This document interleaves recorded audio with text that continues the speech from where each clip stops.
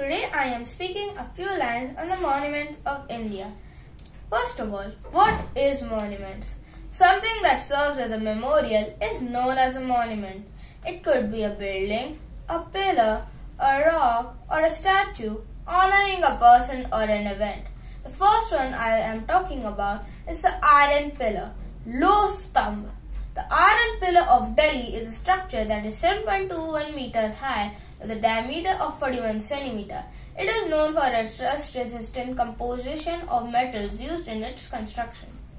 The inscriptions on it indicate that it was built during the early period of the Gupta reign, 320 to 495 AD. It is also believed to be built in the respect of the Hindu god Lord Vishnu.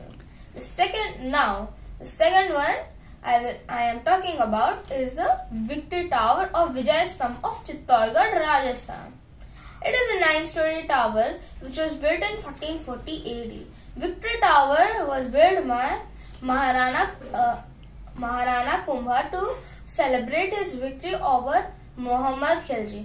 There are 157 narrow steps leading to the beautiful terrace of the tower. A visit this place will fill your heart with proud for our great history. The third one is India Gate. It is situated in Delhi. Foundation stone of India Gate was laid in the year 1921. It took 10 years to complete. It stands as a memorial to 84,000 soldiers of the British Indian Army who died in the World War I. It is also known as India War Memorial. There are uh, 13,516 names engraved on uh, 13,516 names of Indian and British soldiers engraved on it. Amar Jawan Jyoti, which is also an important part of India Gate, was built later as a tribute to the soldiers who died in the Indo-Pakistan War of December 1971. The, the last one I will be speaking about today is uh, Vivekanand Rock Memorial.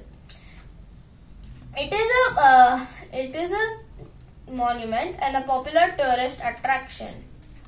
It was built in 1970 to honor Swami Vivekananda, the great Hindu monk, philosopher, author, religious teacher, who was said to have attained enlightenment on the rock. The list of monuments is too long, but there are